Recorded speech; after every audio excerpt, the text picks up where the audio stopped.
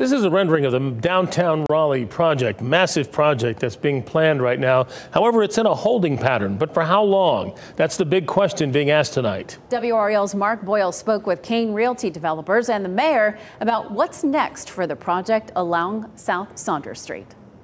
The plans have been in the works for downtown South for a while. Multifamily housing, a sprawling hotel, office space, music venues, restaurants, and more.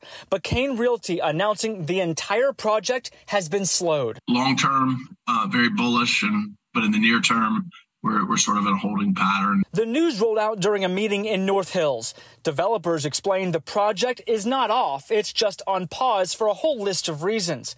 But the outlier still, how long will it be on pause? Uh, we're at a point where real estate projects just aren't starting. And so we're uh, still queued up and ready to go and ready to uh, get projects coming out of the ground. It's just pending the um, interest rates coming down and investors becoming more interested in real estate.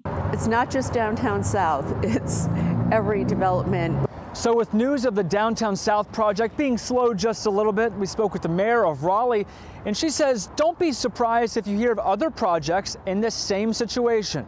With the market changes, people are just waiting. Interest rates are too high for them to finance their projects. You've got to ensure invest, your investors get some money, uh, some of their money back, and they're making money. And the market's not allowing that right now. As for the timeline for downtown South, Kane developers say they're pushing and planning for groundbreaking sometime mid 2024. Mark Boyle, WRAL News, Raleigh. WRAL has tracked the Downtown South project every step of the way. You can read more details about this delay and our previous coverage on WRALTechWire.com.